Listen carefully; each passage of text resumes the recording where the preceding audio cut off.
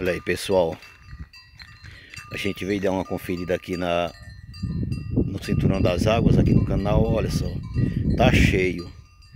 Só que não tá descendo não, só encheram né?